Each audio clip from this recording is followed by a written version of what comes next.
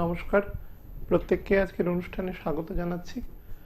গতদিন অনুষ্ঠান যারা দেখেছেন, তারা জানেন যে আমি আসলে বিভিন্ন অঙ্গ প্রত্যঙ্গের ওপরে আমাদের কালপুরুষের যে দ্বাদশ ভাব আছে, সেই ভাবে যে প্ল্যানেট পজিশন সেই ভাব অনুসারে কোন অঙ্গকে কতটা রিপ্রেজেন্ট করে এবং সেই অঙ্গের উপরে প্ল্যানেটারি পজিশন কীভাবে এফেক্টেড হয় এবং যদি না হয়, তাহলে কি ধরনের অ্যাবারেশন তৈরি হতে পারে? তার উপরে একটা খুব ওপরে ওপরে আলোচনা, খুব বার্ডস আই আলোচনা একটা হচ্ছে। তো সেই আলোচনা করতে গিয়ে আমি গতদিন পঞ্চম ভাবের ওপরে আলোচনা করেছি যে সিংহ রাশি, পঞ্চম ভাব আমাদের শরীরের কোন অংশকে রিপ্রেজেন্ট করে এবং সেই অংশের মেজর প্ল্যানেটস অর্গানগুলোকে কোন কোন মেজর প্ল্যানেটস মেনলি কন্ট্রোল করে বা যদি সেটা না করে, তাহলে কতটা ম্যাল এফেক্ট হয়? এর ওপরে আলোচনা করতে গিয়ে সম্ভবত আমার যা মনে আছে যে লিভার মানে যকৃতের ওপরে আলোচনা করা হয়েছে এবং ইন্টেস্টাইনের উপরে আলোচনা করা হয়েছে। তো আজকে যেটা নিয়ে আলোচনা করব, সেটা হচ্ছে প্যাংক্রিয়াসের ওপরে আলোচনা করব, খুব মেজার অর্গান আমাদের শরীরের। যদিও এই ভাবটার মধ্যে পঞ্চম এবং ষষ্ঠ ভাব দুটোই এসে যায় অ্যাকচুয়ালি কারণ এই অর্গানটা এমন যে পরিমাণে বিস্তৃত অ্যাকচুয়ালি ইন্টেস্টাইন নিয়ে আলোচনা করার ক্ষেত্রেও পঞ্চম এবং ষষ্ঠ ভাব দুটোই এসে যায়। কারণ ইন্টেস্টাইন সপ্তম ভাবও এসে যায়। ইন্টেস্টাইন তো অ্যাকচুয়ালি আমাদের প্রায় অ্যানাস পর্যন্ত বিস্তৃত। তো সেক্ষেত্রে সেখানে সপ্তম ভাবের একদম শেষ নবাংশ পর্যন্ত চলে যায় বা অষ্টম ভাবের একদম শুরুর নবাংশ পর্যন্ত চলে আসে। তো অ্যাকচুয়ালি আলোচনায় যখন যখন আসবে, আমি সেগুলোকে টাচ করে যাব যাতে আপনাদের কনফিউশন না থাকে। তবে আজকে যেটা নিয়ে মুখ্যত আলোচনা করব, সেটা হচ্ছে প্যাংক্রিয়াস নিয়ে আলোচনা করব আমাদের পঞ্চম ভাবের মধ্যে। মেজার থাকে কিছুটা ষষ্ঠ ভাবের মধ্যেও পড়ে, অর্থাৎ কন্যা রাশির প্রথম দশ বারো ডিগ্রির মধ্যে, অর্থাৎ পুরো রবির নক্ষত্রটা এবং চন্দ্রের নক্ষত্রের ধরুন একটা নবাংশ বা দুটো নবাংশের কাছাকাছি এই এরিয়াটা প্যাংক্রিয়াসকে কাভার করে। তো এই অঞ্চলে কি কি প্ল্যানেট এদের দেখে বা না দেখে সেটা? দেখুন মনে রাখবেন আমাদের শরীরে এখানে তো একদম পিওরলি অ্যাস্ট্রোলজিক্যাল আলোচনা হচ্ছে। যে আমি তার আগে একটু আজকের গোচরটা বলে নিয়ে তা আলোচনায় যাই, কারণ বহু লোক প্রশ্ন করেন আর কি পরবর্তীকালে। আমি এখন অনুষ্ঠান করছি, এখন রাত্রিবেলা প্রায় সাড়ে নটা বাজে। তো সেই হিসাবে অনুষ্ঠান চলছে। তো এখন চন্দ্র রয়েছে প্রায় চব্বিশ ডিগ্রির কাছাকাছি। তো চব্বিশ ডিগ্রি রয়েছে মানে বুঝতে পারছেন আমাদের হ্যাঁ মেষ রাশিতে রয়েছে চন্দ্র আজকে। তো চব্বিশ ডিগ্রিতে রয়েছে মানে আমাদের এখনও সে শুক্রের নক্ষত্রেই রয়েছে। তো তারপরে আগের ঘরে, অর্থাৎ মীন রাশিতে মঙ্গল রয়েছে আঠাশ ডিগ্রি আঠেরো মিনিটে। তার আগের ঘর মানে কুম্ভ রাশি ইমিডিয়েট তার আগের ঘরে শনি রয়েছে। দু ডিগ্রি ছাপ্পান্ন মিনিটে শনি রয়েছে, বকরি রয়েছে শনি। তার আগের ঘরে, অর্থাৎ ধনু রাশিতে, আমি উল্টো করে বলছি, ধনু রাশিতে বৃহস্পতি রয়েছে চব্বিশ ডিগ্রি ছাপ্পান্ন মিনিটে এবং কেতুও রয়েছে, একই দু ডিগ্রি পনেরো মিনিটে কেতু রয়েছে। আর কর্কট রাশিতে বুধ রয়েছে, রবি রয়েছে। বুধ রয়েছে প্রায় উনিশ ডিগ্রির কাছাকাছি এবং রবি রয়েছে পঁচিশ ডিগ্রির ওপরে। আর তার আগের ঘরে রাহু এবং শুক্র রয়েছে। শুক্র রয়েছে সাড়ে নয় ডিগ্রিতে এবং রাহু রয়েছে দু ডিগ্রি পনেরো মিনিটে। তো এটা ইমিডিয়েট প্ল্যানেট পজিশন রয়েছে এবং ইমিডিয়েট লগ্ন মিন রাশিতে রয়েছে। অর্থাৎ মিন রাশি এবং ইমিডিয়েট মাপ করবেন, মেষ রাশিতে লগ্ন আছে মেষ রাশি এবং মেষ লগ্ন একসাথে আছে, একদম শুরুর দিকে রয়েছে। তো এটা হচ্ছে ইমিডিয়েট প্ল্যানেট পজিশন আছে, এখন সাড়ে নটা বাজে। তো সেই হিসাবে আমি বহুবার বলেছি জাস্ট একটু অ্যাডিশান করে নিই যে এই যে টাইমটা বছরের এই পার্টিকুলার সময়টা বিভিন্ন রোগ বা এগুলো নিয়ে তো কিছু আপৎকালীন ব্যবস্থা বা সিচুয়েশান তৈরি হয়েছে, সবাই জানেন। আমি আমার ইউটিউব চ্যানেলে তার একটা এক্সপেক্টেড সময়ও আপনাদের বলেছি যে, বৃহস্পতি যখন ডাইরেক্ট হবে, অর্থাৎ তেরোই সেপ্টেম্বর ডাইরেক্ট হবে এবং ডাইরেক্ট হওয়ার আঠাশ দিন পর থেকে, অর্থাৎ অ্যাকচুয়ালি বৃহস্পতির এক্সশন টাইম অর্থাৎ একটা গ্রহ যখন ডাইরেক্ট হয়, তার কিছুদিন পর মানে একটা গ্রহ মানে আমি নর্মাল যে কোনো গ্রহ বলছি না, প্রত্যেকটা গ্রহের একটা এক্সশন টাইমের ডিফারেন্স আছে। তো সেই সেটা বিভিন্ন প্ল্যানেটের বড় প্ল্যানেটগুলো একটু বেশি সময় পরে এক্সশন হয়, অর্থাৎ পাওয়ারলেস হয়ে যায়। বকরি থেকে যখন মার্গি হয়, তারপরে কিছুদিনের জন্য সে পাওয়ারলেস একটা সিচুয়েশানে থাকে। তো সেই সিচুয়েশনটা বৃহস্পতির ক্ষেত্রে মোটামুটি ওই বাইশ থেকে পঁচিশ দিন পর থেকে শুরু হয়। তা আমি সেটাকে আঠাশ দিন ধরে আপনাদের বলছি আরও কিছু হিসেব আছে, কারণ শনিও তার মধ্যে ডাইরেক্ট হবে। তো তারও একটা এফেক্ট আছে, রাহু কেতুও তার ঘর শিফটিং করবে তেইশ তারিখে। তো অনেকগুলো ইনসিডেন্টকে ধরে নিয়ে আপনাদের বলছি ১৩ তারিখ, তেরোই সেপ্টেম্বর বৃহস্পতি ডাইরেক্ট হবে। তার আঠাশ দিন পর থেকে মোটামুটি সিচুয়েশনকে ট্যাকল করে নেওয়া যাবে। এখনও অলরেডি সবার তৎপরতায় যথেষ্ট কন্ট্রোলডি আছে। ভারতবর্ষের টোটাল জনসংখ্যার বিচারে এবং সারা পৃথিবীর সাপেক্ষে যদি বিচার করেন, বিশেষ করে পশ্চিমবঙ্গের যা লোকবসতির ঘনত্ব, একটা হিউজ পপুলেশন ডেন্সিটি আছে, সেই হিসাবে যথেষ্টই কন্ট্রোল আছে। সবাই সমবেতভাবে চেষ্টা করছে। তো এটা দেখবেন আঠাশ দিন মানে তেরোই সেপ্টেম্বরের পরে আঠাশ দিন, তার মানে মোটামুটি অক্টোবরের দশ এগারো তারিখের পর থেকে সিচুয়েশন অলমোস্ট ট্যাকেল হওয়া মানে পুরোপুরি প্রায় ট্যাকেল হওয়া শুরু হয়ে যাবে এবং কিছু দিনের মধ্যে ব্যাপারটাকে গ্র্যাপ করে নেওয়া যাবে। তো সেটা আমি অলরেডি বলেছি। এখানে একটা রিপিট করে দিলাম, কারণ অনেক লোক ওখানে দেখতে পান না অনুষ্ঠান। অনেক লোকের সেইভাবে হয়তো এখন যে স্মার্টফোন বা এই জাতীয় ফোন ইউজ করেন না, তারা প্রশ্ন করেছিলেন, তাদের জন্য এই ম্যাটারটা এখানে বলে দিলাম। তো যাই হোক এখন planet position as a whole খারাপ আছে। আমি অনেকবার আলোচনায় বলেছি যে বছরের এই পার্টটা খারাপ আছে। এটা দুটো দুটো পর্বে খারাপ সিচুয়েশনটা উঠবে। অর্থাৎ উইথ উইথড্রন যখন হবে, তখন দুটো ফেজে হবে। ফার্স্ট যে ফেজটা হচ্ছে, সেটা মোটামুটি চোদ্দোই অক্টোবরের পর থেকে আস্তে আস্তে উইথড্রন হবে এবং কুড়ি নভেম্বরের পর থেকে সেকেন্ড ফেজটা উইথড্রন হবে।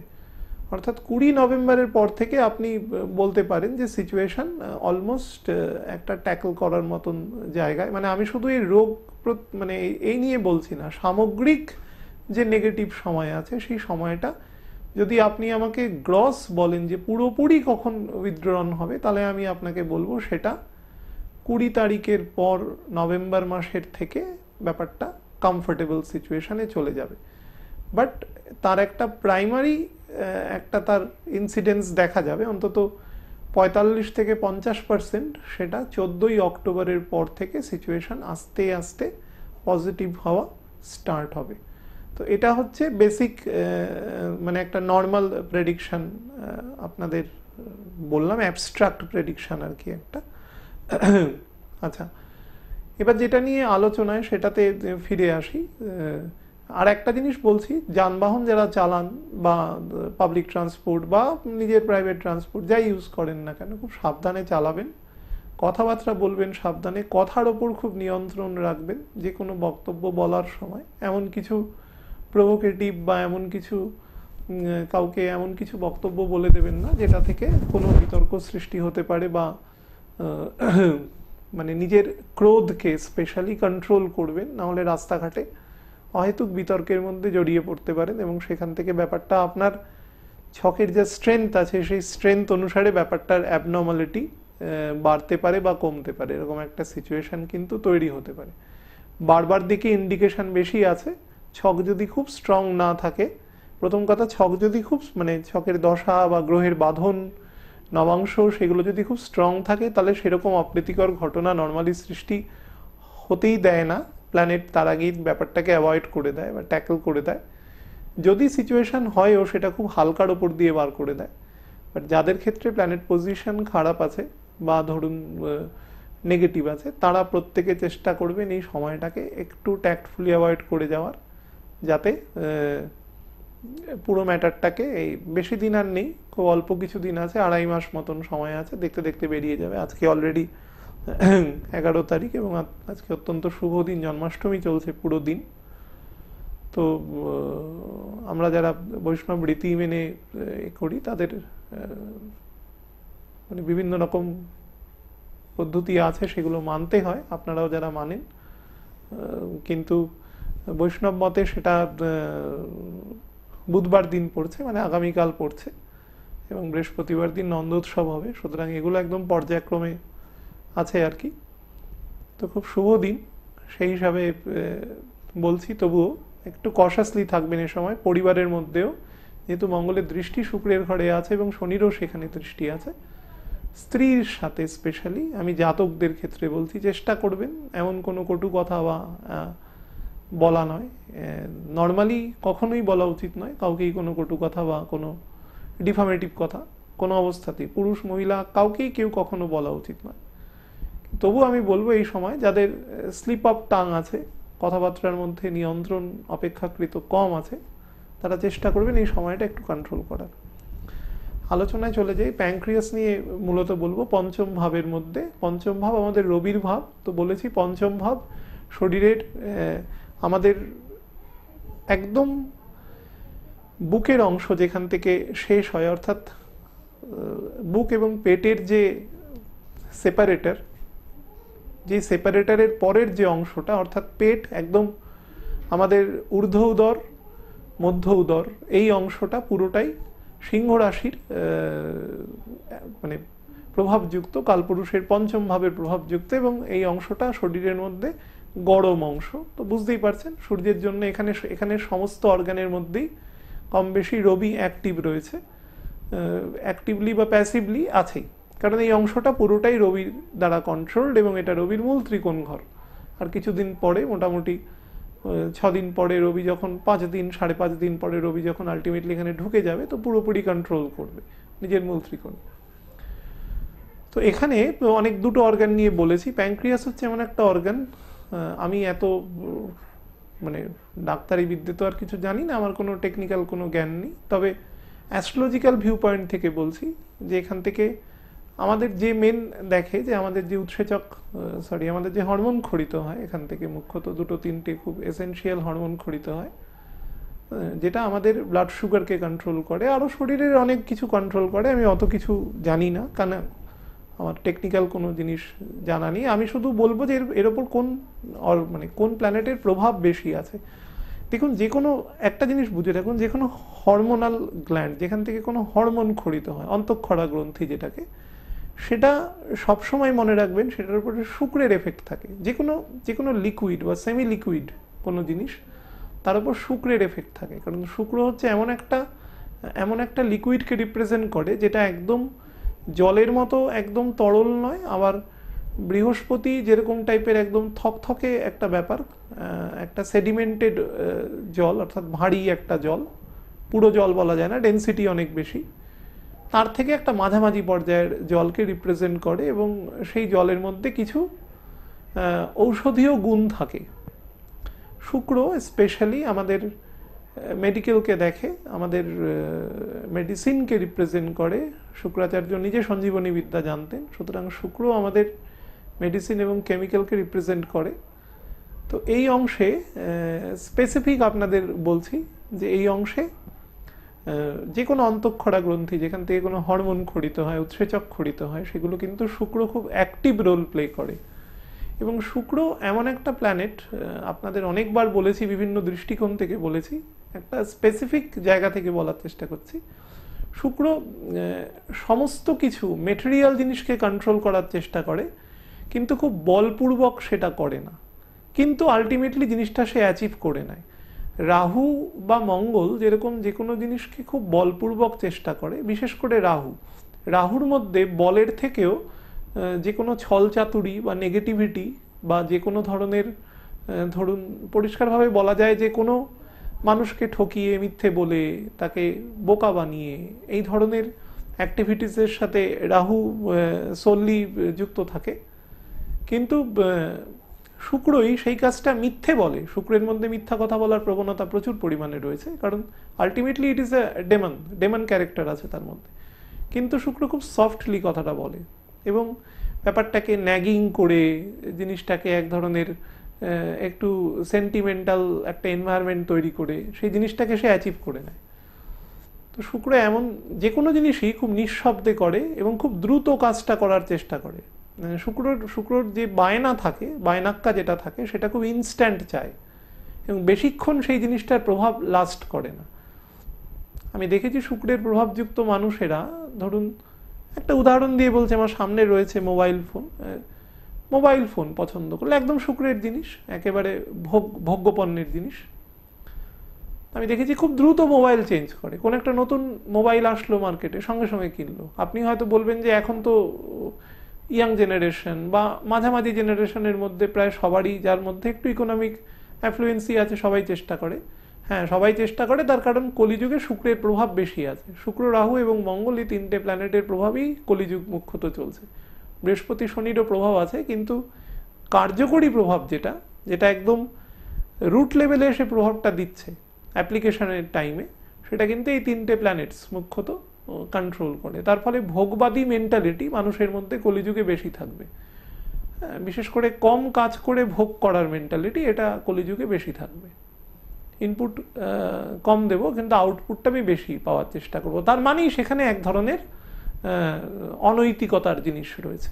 অনৈতিকতার অবক্ষয়ের জিনিস মানেই সেটা কলিযুগের সাথে সম্পৃক্ত এবং সেখানে তিনটে একদম তামসিক প্রবৃত্তযুক্ত প্ল্যানেট অ্যাক্টিভ রয়েছে, তারাই কাজ করে।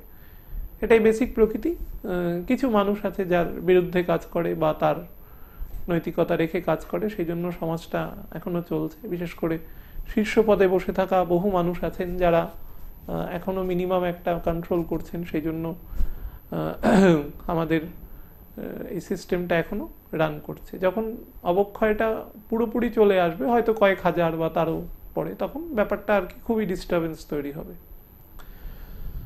তো যাই হোক যেটা নিয়ে আমি বলার চেষ্টা করছি, শুক্র যে কাজটা করে, শুক্র, শুক্রের ব্যাপারটা যে খুব ইনস্ট্যান্ট কাজ করে। দেখবেন যে কোনো হরমোনাল প্রভাব বা যাই হোক, সেটা ইনস্ট্যান্ট হয় এবং সেটার খানিক্ষণ তার প্রভাব থাকে, তারপরে আবার তাকে পুনরায় সেটার প্রোডাকশান করতে হয়। তো এই জাতীয় কাজ প্যাঙ্ক্রিয়াসের মুখ্যত থাকে। এখানে শুক্র কাজ করে, রবি তো আমি অলরেডি বলেছি, রবি কাজ করে। আচ্ছা দু তিন নম্বর যেটা প্রাণ শক্তির যেখানে উর্বরতা থাকে, সেখানে বৃহস্পতি এবং মঙ্গল সেখানে ফাংশন করবেই। তার মানে মুখ্যত, রবিকে আপনি এখানে ছেড়ে রাখুন, কারণ রবির অ্যাম্বিয়েন্সের মধ্যে আলোচনা করছি এটা পঞ্চম ভাবের মধ্যে আলোচনা চলছে। এর মধ্যে মুখ্যত কে কাজ করে? শুক্র, মঙ্গল এবং বৃহস্পতি, তিনটে প্ল্যানেট কাজ করে। অ্যাবারেশন কি করে সৃষ্টি হয়? এই যাদের ধরুন ব্লাড সুগার হয়, তাদের ইনসুলিন কম বেরোয় শরীর থেকে। ইনসুলিনের একটা উল্টো উৎসেচকও বেরোয় যেটাকে গ্লুকাগন বলে, যেটা আবার আমাদের সুগারকে বাড়িয়ে দেয়। ভগবান বানানোর সময় আমাদের শরীরে সব জায়গায় দুটো করে জিনিস দিয়ে রেখেছে মানে একটা দিয়ে জিনিস দিয়ে বাড়ানো, একটা জিনিস দিয়ে কমানো। গাড়ির মতো ব্রেকও দিয়েছে, অ্যাক্সেলারেটরও দিয়েছে। তো সেরকমই আমাদের শরীরেও দিয়েছে। আমি কিন্তু কোনো পার্টিকুলার কিছু ধরে বলছি না। আমি বলছি যে এই অর্গানটা মুখ্যত যে সমস্যা তৈরি, অনেক সমস্যা তৈরি করতে পারে, আমি তো ডাক্তারি বিদ্যা জানি না সেই সমস্যাগুলো জানলে আমি আরও ডিটেলড আপনাদের ধরে ধরে বলতে পারতাম। কিন্তু এইটুকু বলছি, এই অর্গানে যদি কোনো অবস্থায় শুক্র বা মঙ্গল যদি ডিস্টার্ব হয়, বৃহস্পতি ডিস্টারবেন্সে কিন্তু এফেক্টটা পাওয়া যায় অন্তত পঁয়তাল্লিশের পর থেকে। খুব আর্লি এজে দেয় না। কিন্তু শুক্র মঙ্গল যদি ডিস্টার্ব হয়, তাহলে কিন্তু আর্লি এজে প্রবলেম দিয়ে দেবে। আর্লি এজে প্রবলেম বলতে অনেকের ক্ষেত্রে দেখা যেতে পারে, দেখবেন আপনাদের অনেক অনেক বাচ্চা রয়েছে যাদের খুব দুর্ভাগ্যজনক জুভেনাইল সুগার আছে। জন্মাই সুগার নিয়ে বা জন্মানোর কিছুদিন পর থেকেই তাদের ব্লাড সুগার চলে আসে। এবং সারা জীবন তাদের খুব রেস্ট্রিক্টেড মেডিসিন এ সমস্ত ডাক্তারবাবুদের পরামর্শে চলতে হয়। এই সমস্ত সিচুয়েশানে সব থেকে মানে ম্যাল এফেক্টেড থাকে ছকে, যদি দেখতে দেখতে পাওয়া যায়, ছক হোক, নবাংশ হোক, যেখানে খুব এক্সপ্লিসিটলি বোঝা যায় যে শুক্র মঙ্গলের পজিশন ব্যাড আছে, বাজেভাবে তারা যুক্ত আছে। একটা জিনিস দেখ বোঝার চেষ্টা করুন একটা অর্গানের মধ্যে যদি সম্পূর্ণ দুটো বিপরীত ধর্মী প্ল্যানেট একসাথে অ্যাক্টিভ থাকে, শুক্র এবং মঙ্গল একে অপরের সমসপ্তমে অবস্থান করে। সমসপ্তম মানে কথায়? মানে সবসময় একে অপরের মানে আমরা তো এখানে কৌণিকভাবে বিবেচনা করি সব থেকে দূরের কৌণিক দূরত্ব হচ্ছে একশো আশি ডিগ্রি। তো একশো আশি ডিগ্রির পরে সেটা আবার কমতে কমতে আবার জিরো ডিগ্রিতে। মানে অ্যাকচুয়ালি একশো একান একশো একাশি ডিগ্রি মানে অ্যাকচুয়ালি উল্টো দিক থেকে ভাবুন, ওটা হচ্ছে একশো উনআশি ডিগ্রি। দুশো ডিগ্রি মানে ওটা অ্যাকচুয়ালি একশো ষাট ডিগ্রি। আবার কমতে শুরু করছে ব্যাপারটা। সব থেকে ম্যাক্সিমাম দূরত্বে যেতে পারে দুটো প্ল্যানেট একশো আশি ডিগ্রি। তো শুক্র আর মঙ্গল মানে মেষ রাশি, তুলা রাশি, বা বৃশ্চিক রাশি এবং বৃষ রাশি, তারা সবসময় একশো আশি ডিগ্রি দূরে। তার মানে কি, দুটো প্ল্যানেটের মোডাসটা এক থাকে। কিন্তু প্রকৃতিগত একটা ডিফারেন্স আছে। মঙ্গল যে কাজটা খুব অ্যাগ্রেসিভলি খুব একগুয়েমির সাথে, খুব অবস্টিনেন্সের সাথে, জেদ করে অনেকটা দৈহিক শক্তি প্রয়োগ করে, অনেকটা ছিনিয়ে নেওয়া যে কাজটা করে সেক্ষেত্রে যত রকম মানে বলপূর্বক সে পদ্ধতি অবলম্বন করতে পারে সেটা করে। শুক্রই সেই কাজটা খুব কৌশলে করার চেষ্টা করে। এবং কৌশলে করে বলে তাকে মিথ্যে কথা বলতে হয় সিম্পলি মিথ্যে বলতে হয়, একটা ছলনার জাল বুনতে হয়, সেটাই শুক্রের প্রকৃতি, কাল্পনিক একটা প্রকৃতি তৈরি করে। এই দুজনের, কিন্তু কাজ দুজনে এক করে, এটা মনে রাখবেন। দুজনেরই লাস্টের আউটকামটা হচ্ছে নেগেটিভ কাজ। তো সেই হিসাবে দাঁড়িয়ে, কিন্তু দুজনের যেহেতু কাজ করার পদ্ধতি ডিফারেন্ট সেই জন্য দুটো একশো আশি ডিগ্রি দূরে অবস্থান করছে। অর্থাৎ প্রকৃতিগত ডিফারেন্স আছে। একটা খুব ঠান্ডা প্ল্যানেট একটা খুব গরম প্ল্যানেট কিন্তু দুটো যখন একটা অর্গানের মধ্যে অ্যাক্টিভ হয়ে যায়, তখন এই দুজনের যদি সামান্যতম ইমব্যালেন্স তৈরি হয় মানে মনে করুন কারুর ছকে শুক্র রাহুযুক্ত অবস্থান হয়ে রয়েছে, বিশেষ করে বকরি শুক্র যদি রাহুযুক্ত অবস্থান, মনে করুন এখন যেখানে শুক্রের অবস্থান রয়েছে, আজকে ধরুন শুক্র প্রায় আট ন ডিগ্রির মতো অবস্থান রয়েছে, আমি দেখে আপনাদের এক্স্যাক্ট বলছি। ইমিডিয়েট শুক্র রয়েছে ন ডিগ্রি তিরিশ মিনিটে, সাড়ে ন ডিগ্রিতে রয়েছে। এখন রাহু থেকে শুক্র প্রায় সাত, সাড়ে সাত ডিগ্রি দূরে রয়েছে। এখন কিন্তু এতটা অ্যাভারেশন তৈরি করবে না। দুজনের মধ্যে মনে করুন পাঁচ ডিগ্রির ডিফারেন্সে রয়েছে এবং বকরি শুক্র রয়েছে। শুক্র, বকরি থাকলে কি হবে? রাহু এবং শুক্র দুজনে একই দিকে মুভমেন্ট করবে। রাহু তো সবসময় বকরি থাকবে। শুক্র একদিকে মুভমেন্ট করবে। এই অবস্থায় যদি মঙ্গলও কাছাকাছি অবস্থান করে, মঙ্গল শুক্র কাছাকাছি খুব বেশি দূরে যাবে না এরা কখনোই। বকরি হয়ে গেলেও খুব বেশি দূরে যাবে না। একটা এমন খুব রেয়ার দেখা যায় যে সমসপ্তমে অবস্থান করছে। অলমোস্ট দেখা সম্ভব নয় কখনো, এতটা সময় দেবে না। কারণ এরা কাছাকাছি থাকা প্ল্যানেট যখন মার্গী অবস্থায় থাকে তখন কিন্তু কখনোই খুব বেশি দূরে যায় না। ম্যাক্সিমাম দেখতে পাবেন আপনি একশো ডিগ্রি ক্রস করছে না। তো এই সিচুয়েশনে দাঁড়িয়ে, শুক্রমঙ্গল যদি সহাবস্থান এসে যায়, অর্থাৎ এক জায়গায় যদি দাঁড়িয়ে যায় তাহলে একটা অ্যাবারেশন তৈরি করে। কখনো শুক্রমঙ্গল মনে করুন বকরি মঙ্গল রয়েছে। এই কিছুদিন পরে যেরকম আর এক মাস মতন পরে যখন মঙ্গল বকরি হবে, এই অবস্থা যদি শুক্র একসাথে অবস্থান করত এবং মঙ্গলের মোটামুটি সাত ডিগ্রির মধ্যে অবস্থান করত, যে ডিগ্রিতে মানে বুধের নক্ষত্রে মানে কেতুর নক্ষত্রে মঙ্গল বকরি হয়ে, আস্তে আস্তে তো বুধের নক্ষত্রে ঢুকবে। বুধের নক্ষত্রে বকরি হয়ে সেখানে যদি শুক্র একসাথে সহ অবস্থান করত বহু লোক ছক দেখে বলতো যে হয়তো মিন রাশিতে শুক্র আছে, তো তুঙ্গ শুক্র একসাথে অবস্থান করছে। তাহলেও কিন্তু গন্ডগোল করে দিত। এই সমস্ত মানুষের কিন্তু, আমি দশা, অন্তর্দশা সব কিছুকে একটা মাঝারি এবং ছকের মূল্যমান একটা মাঝারি এটা ধরে বলছি, এটা কিন্তু অ্যাভারেশন তৈরি করতে। এবং এই অ্যাভারেশনে দেখুন, শুক্র যদি ওভার অ্যাক্টিভ হয়ে যায় এবং মঙ্গল দ্বারা সাপ্রেস হয়, তাহলে সেই মানুষের একটা খুব টোটকা টাইপের বলে দিচ্ছি, সেই মানুষের খুব দ্রুত সুগার আসবে জীবনে। দ্রুত মানে মোটামুটি পনেরো বছরের মধ্যে তার সুগারের এফেক্ট চলে আসবে। ঠিক উল্টোটা যদি হয় মঙ্গল যদি খুব অ্যাক্টিভ থাকে এবং শুক্র যদি খুব সাপ্রেসড অবস্থায় থাকে তাহলে সেই মানুষের মোটামুটি ছত্রিশ সাঁত্রিশের পর থেকে তার সুগারের লেভেল আসবে। অর্থাৎ শুক্র যদি বেশি অ্যাক্টিভ হয়ে যায় এবং মঙ্গল দ্বারা ম্যাল মানে অ্যাভারেটেড পজিশানে থাকে তার সাথে যদি রাহুযুক্ত থাকে হ্যাঁ, তাহলে কিন্তু খুব আর্লি চলে আসবে। যত বেশি অ্যাভারেশনের মাত্রা থাকবে তত তার আগে, তত তার আগে আসবে লাইফে তত আগে। অনেক সে জন্ম থেকেই আসে। আবার অনেকের আট দশ বছর, এবার সেটা কিন্তু অ্যাভারেশনের মাত্রাটা যত কম হবে, তত পরে আসবে। এটাই বলার চেষ্টা করছি। মুখ্যত এই এই অর্গানে এর থেকে বেশি বলার আর কিছু নেই। ভালো থাকবেন প্রত্যেকে। সামনের দিন অন্য অংশ নিয়ে আলোচনা করব। নমস্কার।